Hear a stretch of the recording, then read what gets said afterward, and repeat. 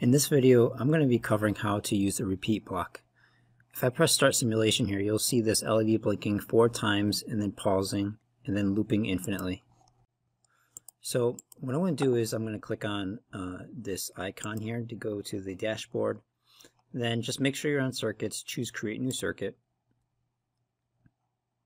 And then I'm going to title this um, repeat block. And then I'm going to go to um, components here, this drop down menu, and I'll choose Arduino under starters. I'll select the blink preset. I'll drop it into my canvas and I'll um, click on my code here and I'm actually going to delete all of this information here and I'm going to start from scratch. And we could use the built-in LED, but um, I'm going to make it so that it's using a different pin. So I'm going to delete this wire. And then I'll click once, and I'll use any other pin. I'll use pin 8 for this one. And just so you know, you can change the colors of your wire here by clicking on this drop-down menu with it being selected, and you can change whatever color you want. So I can change this to orange. I'll make it orange for now.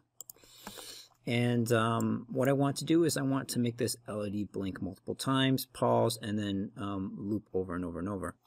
And so you could do this by um, manually um, throwing in one of these blocks, setting the specific pin to 8 so you can control pin 8, and then turn on your LED through this block right here, go to control, and then have this wait, and then duplicate this, and then set this to low, and then um, made it make it wake wait again. And um, so again, you can just take this and duplicate it as many times as you want. But let's say we wanted this uh, LED to blink a hundred times and then pause. So you can see that would be very tedious to take this, copy this, and paste it uh, um, 99 times for a total of 100. Um, so there's actually a better way to do this. And to do that, we would use this block right here, this repeat block. So then I can throw the contents that I want repeated, which is this right here. And then right here, you can see that it's going to repeat this 10 times. So it's going to turn on and off 10 times. And if we were to simulate this, um, watching that light turn on and off will be um, really boring and slow. So what we're going to do is we're going to change our unit from uh, one second to this new unit right here called milliseconds.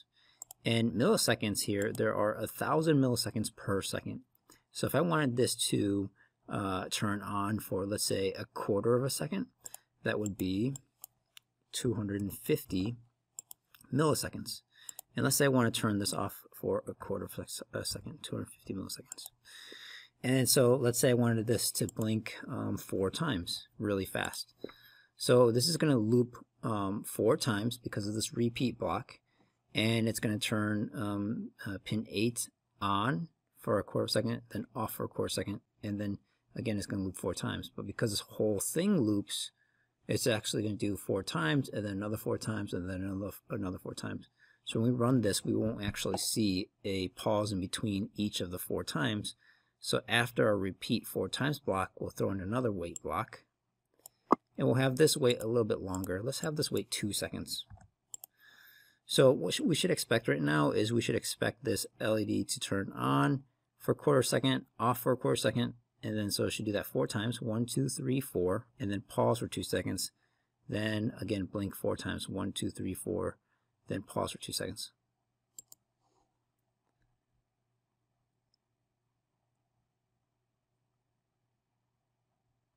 And so the advantage of using this repeat block is if I ever needed to change this number from 4 to 100, I can type in 100. It's that simple. I wouldn't need to delete a bunch of blocks. I don't need to highlight uh, a, a section, a, a series of blocks and duplicate it and tack it onto the bottom. I simply just change this number. So I'm going to try 6.